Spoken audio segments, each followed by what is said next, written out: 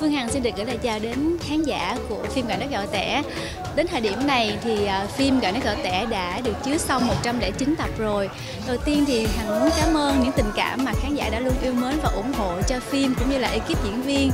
Tới thời điểm này khi mà phim kết thúc cũng như là trải qua một cái chặng đường khá là dài đi cùng với nhau á, thì cái mà Hằng muốn gửi đến đầu tiên là những lời cảm ơn, cảm ơn đến à, à, uh, HTV2, cảm ơn đến công ty DID và cảm ơn cả ekip gạo từ đạo diễn Thạch Thảo, đạo diễn biên kịch Hoàng Anh đến tất cả các anh chị diễn viên ekip và à, uh, BA rồi uh,